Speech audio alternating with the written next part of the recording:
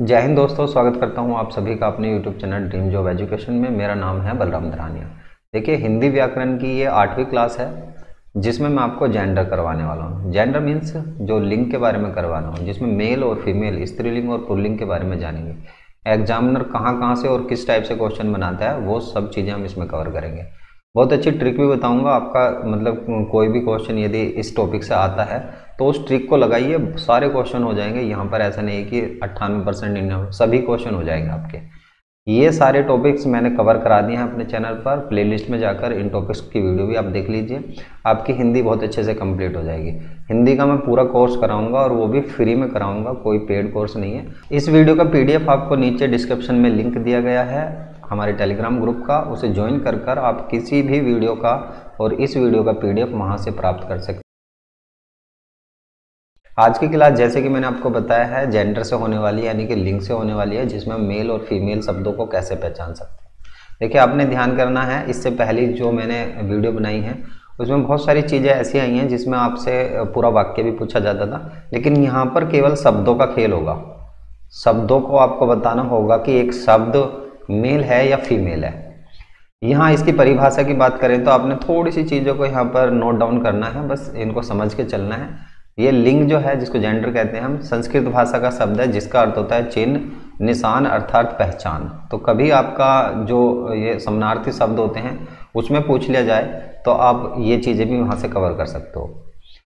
शब्दों के जिस रूप से बोध होता हो कि वह पुरुष जाति का है या स्त्री जाति का, ये इसकी परिभाषा है, सभी जानते हैं, इसमें कोई ज़्यादा मतलब रॉकेट साइंस नहीं है। वे शब्द जो हमें मतलब कि पुरुष जाति के बारे में बताते हो और वे शब्द जो हमें स्त्री जाति के बारे में बताते हो, वे ही जेंडर कहलाते हैं, बस और कुछ भी नहीं है इसमें। लिंग के भेदों की बात करें तो लिंग के, देखिए, हिंदी में तो दो ही भेद होते हैं। वैसे तो तीन भेद बताए जाते हैं, स्त्रीलिंग, पुरलिंग और नपुंसक लिंग। तो ये तीन भेद होते हैं। ये जो यहाँ पे नपुंसक लिंग है, दरअसल ये अन्य भाषाओं में यूज़ किया जाता है। हिंदी में इसका यूज़ नहीं होता। तो यहाँ हम ये कह सकते हैं, हिंदी में केवल दो ही लिंग होते हैं। एक तो मेल और दूसरा फीमेल यानी कि दो ही जेंडर होते हैं पुरलिंग और स्त्रीलिंग। आगे बात करते हैं तो यहाँ पर पुरलिंग शब्दों के बारे में। अभी मैंने बताया, जिन शब्दों से आपको ये पता लगता हो कि वह पुरुष जाति का है, वह पुरलिंग कहलाता है। एग्ज़ाम्पल यहाँ पे लिखे हुए बहुत हल्का है, बच्चों वाला क्वेश्चन है और कुछ भी नहीं है, सभी जानते हैं कि पुरलिंग कौन होता है और स्त्रीलिंग कौन होता है।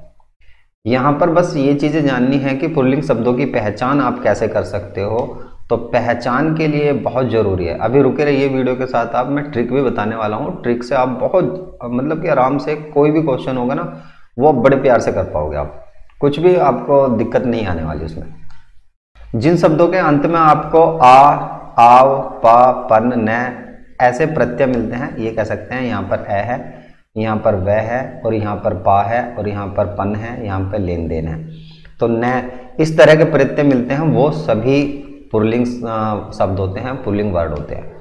अब यहाँ पर और कैटेगरी मैंने बनाई है यहाँ पर, जैसे तारों एवं ग्रहों के नाम। यहाँ पर सूर्य, चंद्रमा, मंगल। बस यहाँ पर पृथ्वी जो है, इसका अपवाद है पृथ्वी।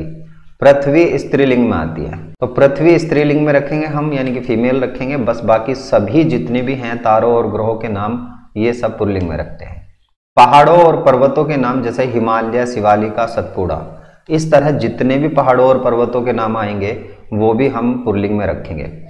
धातुओं के नाम जितनी भी धातु हैं, सोना, लोहा, पीतल आदि, ये सब धातु भी पुल्लिंग में रखी जाती है। समय चक्र, जो समय चक्र के नाम होते हैं, दिन, महीना, घंटा, मिनट, सेकंड, ये सभी भी हम पुरलिंग में रखते हैं। बस अंग्रेज़ी के जो महीनों के नाम होते हैं, वो दो कैटेगरी में बटे हुए हैं, जहाँ पर स्त्रीलिंग भी होते हैं और पुल्लिंग भी होते हैं। रत्नों के नाम जितने भी रत्न होते हैं, जवाहरात होते हैं, हीरे, मोती, पन्ना, मूँगा, ये सब पुरलिंग रखे जाते हैं। तो सबसे पहले मैं आपको ट्रिक बता देता हूँ, फिर आगे बढ़ूँगा। चाहे तो आप ये वीडियो को यहीं पर छोड़ देना आगे आपको जानने की ज़रूरत नहीं पड़ेगी, लेकिन पूरा कॉन्सेप्ट यदि आपने सीखना है, अच्छे से तैयारी करनी है कि आपका एग्ज़ाम में कोई भी क्वेश्चन गलत ना हो तो फिर पूरी वीडियो देखिए, आपके लिए बेनिफिशियल होने वाली है वीडियो यहाँ पर ट्रिक है, यदि आप वाक्य, जो भी शब्द दिया गया है, उसमें मेरा, मेरी इस टाइप का क्वेश्चन करते हैं, उसका, उसकी ये क्वेश्चन करते हो तो आप बड़े आराम से किसी भी मतलब कि शब्द को आप पहचान पाओगे कि ये मेल जेंडर में है या फीमेल जेंडर में? कैसे पहचान पाओगे? मैं अभी आपको बता देता हूँ। देखिए, यहाँ पर सभी ये पुरलिंग है और ये सभी यहाँ पर स्त्रीलिंग है। शेर, इससे आप क्वेश्चन करना है, मेरा शेर होता है या मेरी शेर होती है? मेरी शेर नहीं होता, ये शुद्ध नहीं है, अशुद्ध है तो इसके लिए मेरा ही लगाया जाएगा। उसी तरह यहाँ पर नदी है, नदी के लिए मेरी नदी होती है, ना कि मेरा नदी। मेरा नदी नहीं होगा। उसी तरह ये भी लगा के देख सकते हो आप उसका शेर या उसकी शेर उसकी शेर नहीं होती, उसकी शेर नहीं होती है, उसका शेर नहीं होता। उसी तरह उसकी नदी हो सकती है, उसका नदी नहीं होगी। यहाँ पर सोने के साथ लगा सकते हो, मेरा सोना ना कि मेरी सोनी। ठीक है? इस तरह से आप लगा सकते हो तो यदि ये ट्रिक आप यूज़ करते हो किसी भी शब्द में तो आपके सभी शब्द क्लियर हो जाएँगे।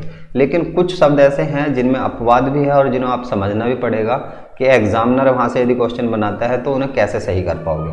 वहाँ पर ट्रिक काम नहीं करती। जैसे यहाँ पर दूध है तो ये सभी वर्ड आप देख लेना लगाकर, जैसे अंग्रेज़ी है, मेरी अंग्रेज़ी होगी ना कि मेरा अंग्रेज़ी। तो यहाँ पर मेरा मेरी से आप पहचान सकते हो, किसी भी शब्द को, स्त्रीलिंग में या पुरलिंग में। आगे बात करते हैं, जब मैं पुरलिंग करा रहा था आपको, पुरलिंग में और क्या क्या चीज़ें आप समझ सकते हो। द्रव के जितने भी नाम हैं, ये बहुत इंपॉर्टेंट है द्रव के। बहुत बार पूछा जा चुका है यहाँ से। द्रव के जितने भी नाम हैं, द्रव मतलब लिक्विड जो है, वो सभी हम पुरलिंग में रखते हैं। जैसे पानी, दूध, दही। अब देखिए, यहाँ पर यदि आप ट्रिक लगाओगे, मेरा मेरी तो मेरी दही, मेरा दही, ऐसा हो सकता है, लेकिन दही बहुत बार पूछा गया है। ये लिक्विड होने की वजह से पुरलिंग आ जाता है। उसी तरह जैसे कढ़ी है। कढ़ी कढ़ी चावल जो होते हैं, उस टाइप से। कढ़ी जो है, ये भी क्या आ जाएगा? पुरलिंग आ जाएगा। तेल, घी, पेट्रोल, ये सभी शब्द हो जाएँगे पुरलिंग। देश के नाम भारत, पाकिस्तान, ये सभी आ जाएँगे। दिनों के नाम सोमवार, मंगलवार, ये सभी। वृक्षों के नाम, जितने भी वृक्ष, पेड़ जो होते हैं, इन सभी के नाम पुरलिंग होंगे। महीनों, भारतीय महीनों के नाम, जैसे चैत्र, वैसाख, ये सभी भी पुरलिंग में होते हैं। तो ये इंपॉर्टेंट है, चैत्र, वैसाख, कुछ वर्ड ऐसे हो सकते हैं कि मेरा, मेरी, उसका, उसकी से नहीं निकल पाएँगे वो। आगे बात करते हैं जो स्त्रीलिंग। स्त्रीलिंग लिंग जो है, उन्हें कैसे पहचान सकते हो? यानी कि फीमेल जेंडर को कैसे पहचान सकते हो आप? जिन शब्दों से स्त्रीत्व का बोध होता है, यानी कि स्त्री जाति का बोध होता हो, जैसे बालिका, शेरनी, गाय, ये सभी सिंपल ही हैं, इसमें कोई ज़्यादा समझाने वाली बात नहीं है। लेकिन शब्दों को कैसे पहचान सकते हो? तो यहाँ, देखिए, वहाँ पर मैंने बताया था आपको कुछ प्रत्यय, यहाँ पर भी आपने प्रत्यय लगाने होंगे। जहाँ पर भी आपको ये प्रत्यय शब्द के बाद में दिखाई देते हैं, दरअसल प्रत्यय जो होते हैं मैंने पहली वीडियो में बताया था, शब्द के बाद में लगाए जाते हैं।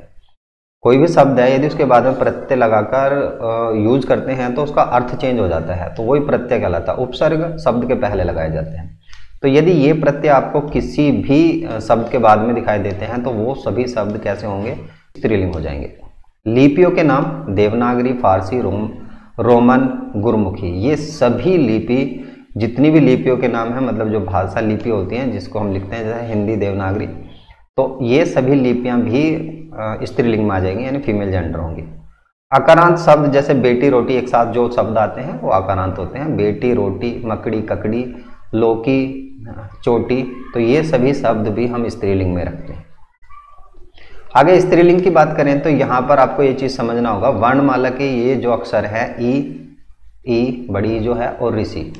इनको छोड़कर शेष सभी जो होते हैं, ये पुरलिंग होते हैं। ये नपुसलिंग होता है, इसका आप उन्हें यूज़ नहीं करना। बाकी इसकी बात करें तो ये आ जाएगा वर्णमाला का जो अक्षर है, ये स्त्रीलिंग में रखे जाते हैं। तिथियों के नामों की बात करें, जो भी तिथि होती हैं, जैसे अमावस्या, पूर्णिमा, एकादशी, ये सभी स्त्रीलिंग होती हैं। नदियों के नाम मैंने शुरू में ही बताया था आपको।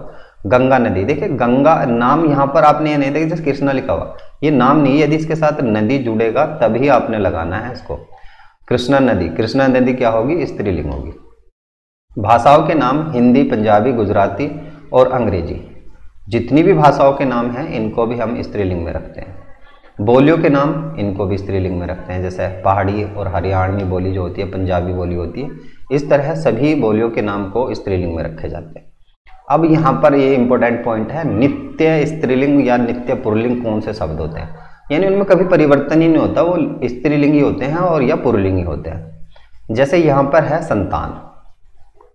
कोयल, भेड़, बुलबुल, मैना, तितली, सवारी, मछली, मकड़ी, मक्खी, मकड़ी, छिपकली, लोमड़ी और गिलहरी। ये सभी शब्द जो होते हैं, हमेशा ऑलवेज फीमेल जेंडर होते हैं, यानी कि स्त्रीलिंग होते हैं। इनकी बात करें तो यहाँ पर उल्लू, कीड़ा, तोता, खरगोश, इस टाइप के जितने भी शब्द हैं मैंने यहाँ पर लिखे हैं, सब ये शब्द आपको पीडीएफ में प्रोवाइड हो जाएँगे। वहाँ से आप तैयारी भी कर सकते हैं उनकी। ये सभी शब्द भी पुरलिंग होते हैं, इनमें कोई स्त्रीलिंग नहीं होता। अब इन्हें स्त्रीलिंग और पुरलिंग बनाने के लिए हम क्या कर सकते हैं? तो यहाँ पर इन शब्दों में लिंग निर्धारण के लिए आप ये लगा सकते हो, नर या मादा लगाकर। नर या मादा लगाकर इन्हें आप स्त्रीलिंग और पुरलिंग में कन्वर्ट कर सकते हो। आगे बात करता हूँ तो नित्य पुरलिंग शब्दों में मादा शब्द, अभी जो मैंने बताया आपको, उसी को हम यहाँ पर समझ लेते हैं अच्छे से। जैसे भेड़िया है, भेड़िया पुरलिंग शब्द है, इसको आपने स्त्रीलिंग बनाना तो यहाँ पर मादा लगाना होगा। मगरमच्छ है, इस पर भी मादा लगाकर मादा मगरमच्छ। मच्छर है, मादा मच्छर। खरगोश है, मादा खरगोश। तो इस तरह इन पर मादा लगाकर या नर लगाकर आप क्या कर बना सकते हो? स्त्रीलिंग से पुरलिंग और पुरलिंग से स्त्रीलिंग बना सकते हो। यहाँ पर कुछ और वर्ड हैं, जैसे नित्य स्त्रीलिंग है। तो मैंने अभी जो बताया आपको, उन्हीं में क्या करना है आपको? नर लगाना है और नर लगाकर इन्हें आप मतलब कि ये बना सकते हो। ये उल्टा हो गया यहाँ पे। ये उल्टा है यहाँ पर भाई। इधर ये आना था, स्त्रीलिंग। स्त्रीलिंग। ठीक है? और इधर आना था पुरलिंग। तो इस तरह आप इन शब्दों को बना सकते हो नर या मादा करके। तो ये थोड़ा सा गलत हो गया था। देख लेना इसको। आगे बात करते हो मिक्स कैटेगरी, यानी कि कुछ तो उसके अंदर आपको स्त्रीलिंग मिलने वाले हैं और कुछ पूर्व, पुरलिंग मिलने वाले हैं। कैसे? यहाँ पर शरीर और अंगों के नाम। शरीर और अंगों के नाम देखिए, यहाँ पर आँख पुतली जितने नाम लिखे हैं, ये सब होते हैं स्त्रीलिंग। शरीरों के कुछ नाम पुरलिंग होते हैं, जो हमेशा पुरलिंग ही होते हैं। तो आपने देखना है, आँख, जैसे मेरी आँख, मेरा आँख। मेरा आँख नहीं होती, मेरी आँख होती है। पुतली, नाक मूछ, जीभ, गर्दन, छाती, इस तरह के जितने भी शब्द हैं, शरीर और अंगों के नाम तो पुरलिंग में भी रखे जाते हैं और स्त्रीलिंग में भी रखे जाते हैं। उसी तरह मैंने शुरू में बताया था आपको, जो महीनों के नाम हैं, जनवरी, फरवरी, मई, जुलाई, ये तो हो गए भाई आपके स्त्रीलिंग फीमेल जेंडर कहलाते हैं सारे, और बाकी सभी जो बचे हैं, वो कहलाएँगे आपके पुरलिंग। जो अन्न होते हैं, जो खद्दान होते हैं, उनके नाम जैसे गेहूँ, चना, चावल, मटर, जौ, ये सब कहलाएँगे आपके पुरलिंग, और ये सभी कहलाएँगे जो भी दालें होती हैं आपकी, ये कहलाती हैं आपकी स्त्रीलिंग। तो इस तरह आप मिक्स कैटेगरी को भी दो भागों में डिवाइड करके अच्छे से अपनी तैयारी कर सकते हो।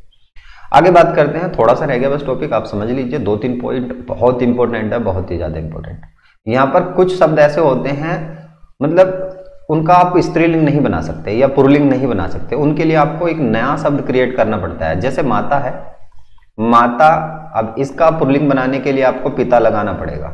तो ये इसका क्या कह, हो जाएगा, ये इसका विलोम शब्द हो जाएगा, या ये कहें कि इसका अपोजिट शब्द या इससे दूसरा शब्द आ जाएगा। कवि कवि का यदि स्त्रीलिंग बनाना होगा तो कवियत्री बनाना पड़ेगा। विद्वान का विदुषी, ये इंपॉर्टेंट है, बहुत बार पूछा भी जा चुका है। साधु का साध्वी हो जाएगा, सम्राट का सम्राज्ञी इंपॉर्टेंट है, ये भी बहुत इंपॉर्टेंट है। ठीक है? उसके बाद पिता, ये मैंने बता दिया आपको, वर, वधु हो जाएगा। देखिए, वर में कुछ भी नहीं लगा सकते आप, इसके लिए नया शब्द क्रिएट करना पड़ेगा आपको। बैल, गाय हो गया और बिलाव का बिल्ली आ जाएगा। लास्ट में थोड़ी सी चीज़ें और देख लीजिए, यहाँ पर आ जाएगा एक समान शब्द ओके, अर्थ। जैसे मतलब एक समान, ये शब्द होते तो एक समान ही है, लेकिन इनके जो अर्थ के आधार पर इनका जो लिंग होता है, वो चेंज होता है। जो जेंडर है, वो चेंज होता है। अर्थ के आधार पर होता है, यहाँ पे मैंने लिखा भी, अर्थ के आधार पर लिंग भेद। कैसे होगा? कोटि। एक कोटि का मतलब होता है करोड़, और एक कोटि का मतलब होता है श्रेणी। तो ये स्त्रीलिंग में चला जाएगा। विधि। विधि का मतलब होता है ब्रह्मा, और विधि का मतलब होता है तारीख। तरीका सॉरी यहाँ पर आ जाएगा तरीका। टीका तिलक होता है और टीका का व्याख्या होती है। उसी तरह यहाँ पर हो जाएगा हार। हार का मतलब होता है माला। जो गले में डालते हैं माला, वो हो जाएगा और हार का मतलब पराजय। तो ये यहाँ पर फीमेल हो जाएगा। तो मतलब कि अर्थ के आधार पर ही इन्हें आप जेंडर में चेंज कर सकते हो फीमेल या मेल जेंडर में। जैसे कल बीता, आने वाला और कल का मतलब मशीन भी होता है। तो इंपॉर्टेंट है ये सारे शब्द मैंने जितने भी लिए हैं, किसी न किसी एग्ज़ाम में आए हुए हैं तो पूछा भी जा सकता है और पूछे जाने की संभावनाएँ भी ज़्यादा बढ़ जाती हैं। और का मतलब होता है छोर या किनारा, और और का मतलब होता है दिशावाहक या तरफ़, जिसकी ओर इशारा किया जाता है वो। ठीक है? इस तरह से आप इन शब्दों की अच्छे से तैयारी कर सकते हो और मैंने समझा भी दिया आपको अर्थ के आधार पर कैसे। देखिए, ट्रिक हर जगह काम नहीं करती। आप लगा सकते हो सभी शब्दों को, लेकिन यहाँ पर कुछ शब्द ऐसे होते हैं जिनकी ट्रिक में कोई मतलब यूज़ ही नहीं होगा ट्रिक और मिस हो जाएगी। आपका कोई भी वर्ड होगा तो वो मिस हो जाएगा। आगे बात करते हैं यहाँ पर उभयलिंग। अब ये उभयलिंग क्या है? देखिए, उभयलिंग को नपुसलिंग से मत जोड़ लेना। उभयलिंग अलग चीज़ है। उभयलिंग मतलब जो दोनों के लिए समान होता है। उभयलिंग वो कहलाता है। समान कैसे होगा? ये जितने भी पद अधिकारियों के नाम लिखे हुए हैं यहाँ पर। जैसे प्रधानमंत्री, मंत्री, डॉक्टर, मैनेजर, राजदूत, राष्ट्रपति, अध्यक्ष, प्रोफेसर, सचिव और जी सभापति। इन शब्दों को आप कैसे कर सकते हो? तो इनके लिए आपको क्रिया का प्रयोग करना पड़ता है। क्रिया कैसे? ये रहा यहाँ पर। क्रिया से पहचान होती है जैसे डॉक्टर घर चली गई, ये क्रिया है। जाना, खाना, पीना, उठना, बैठना, ये सब क्रिया है या चला गया। तो वहाँ पर इनका जो पता लगेगा, वो हमें किससे लगेगा? वो क्रिया से पता लगेगा। प्रधानमंत्री पधार रहे हैं। या प्रधानमंत्री पधार रही हैं। रही हैं। तो रही हैं या रहे हैं, ये फीमेल और मेल इस तरह से कन्वर्ट होते हैं। इंजीनियर साहब विदेश जा रहे हैं। तो इंजीनियर साहब विदेश जा रहे हैं या इंजीनियर साहब विदेश जा रही हैं? तो इनका जो आप बदलाव कर सकते हो, वो उनका पता लगेगा आपको केवल क्रिया से। तो ये चीज़ें भी आपने समझनी है और लास्ट में बस दो तीन फैक्ट हैं, इनको जान लेते हैं। लिंग एक विकारी शब्द है, जो मैंने आपको शुरू में शायद नहीं बताया आपको तो ये विकारी शब्द है, जिसमें लिंग वचन और कारक के आधार पर परिवर्तन होता रहता है। लिंग संस्कृत का जो जेंडर होता है, ये संस्कृत भाषा का शब्द है, मैंने शुरू में ही बता दिया था आपको। लिंग का जो निर्धारण होता है, संज्ञा के आधार पर होता है, लेकिन कुछ कुछ जगह इसका अर्थ के आधार पर भी होता है। अर्थ के आधार पर और कुछ जगह इसका क्रिया के आधार पर, क्रिया के आधार पर भी होता है। तो ये चीज़ें आपने समझ लेनी है। इस वीडियो में इतना ही। नेक्स्ट वीडियो के साथ फिर मिलता हूँ। हिंदी कंप्लीट कराऊँगा और बहुत अच्छे तरीके से कम समय कराऊँगा। यही वीडियो आप किसी और चैनल पर देखोगे तो घंटा घंटा डेढ़ डेढ़ घंटे में कराते हैं टॉपिक कुल मिलाकर मैं ये कहने वाला हूँ आपने कम समय में बेस्ट तैयारी करनी है। तो मेरे चैनल को सब्सक्राइब करिए और कोशिश करूँगा कि आ, ऐसे क्वेश्चन बनाऊँ ऐसी वीडियो लेकर आऊँ जो एग्ज़ाम के लिए बहुत ज़्यादा बेनिफिट देगी आपको। मिलता हूँ नेक्स्ट वीडियो में। धन्यवाद।